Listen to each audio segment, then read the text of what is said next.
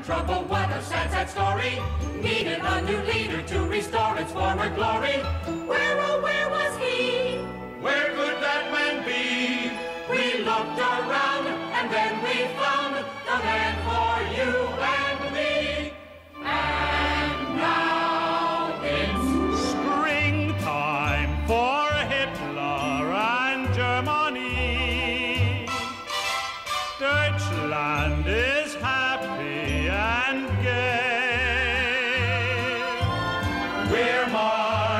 to a faster pace. Look out, here comes